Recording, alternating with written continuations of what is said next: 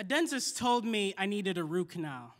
The last one dug out too much of the bone when cleaning the back molar, and now there's a destroyed country on the side of my face. Ruined cities, split marble walls where death is an occasional activity. Through the streets where the jawline is met, I heard a knuckle crack against the face of a boy who resembled me so much when submitting to agony that the gums began to swell. It's so funny how pain makes the body remember things. Like how years ago, the left side of my face was flung into a dune of snow, the flakes stinging the flesh until the black faded, it now a bright brown. You could almost see the blood crawling through the windows of the cheek, looking out into the world as if to want to escape the prison of this body. But the tooth needs containment, needs a lack of air, ironically for the thin blood to breathe, needs the baton of a toothbrush to rattle against the cages of the mouth to put the teeth to rest. And, and maybe that is the meaning of a government in the mouth.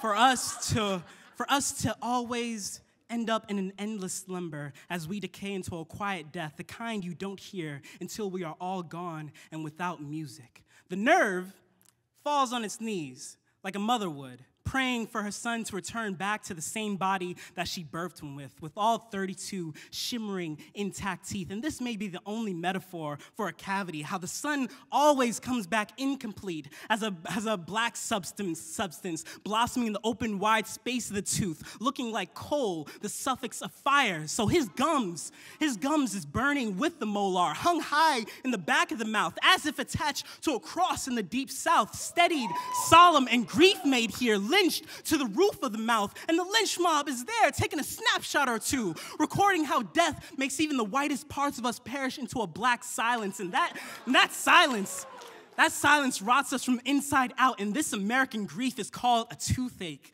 Something, an event that often causes a wanting of death, like a friend who wants to commit suicide and then wants to resurrect as a tooth and then wants to die again. So maybe Maybe that is the meaning of a government in the mouth. Wow. Look at how we smile. The teeth shimmering like stars, dead, so much like us.